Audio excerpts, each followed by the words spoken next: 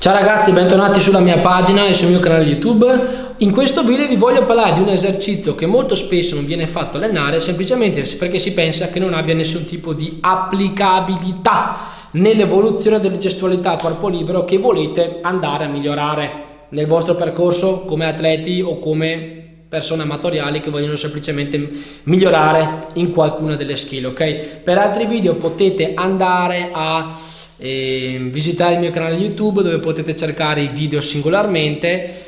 Potete anche iscrivervi al gruppo Facebook privato dove tratto tanto altro materiale che viene reso pubblico solamente lì.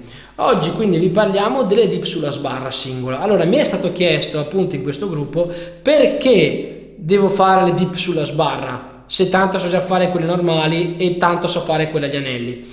La domanda io te la rigiro una volta che tu hai sviluppato un lavoro di base come muscle up agli anelli e vuoi andare a sviluppare un lavoro di forza più avanzato, come per esempio il muscle up controllato alla sbarra, nel momento in cui tu mi passi la sbarra e arrivi in questa posizione, come pensi di arrivarci alla posizione a braccia tese? Con uno schiocco di magia? Con la battuta, con la bacchetta della fata turchina? No, si va semplicemente a eseguire una dip alla sbarra quindi andare ad allenarle prima di dover approcciare il muscle up alla sbarra sicuramente può essere un buon modo per preparare i tessuti, acquisire una buona dose di forza e eseguire confidenza e raggiungere confidenza con quelli che sono i gradi articolari che poi si ripropongono nel muscle up alla sbarra. Ok? Detto questo, eh, ho finito la lista dei video che volevo fare oggi e ci vediamo al prossimo appuntamento.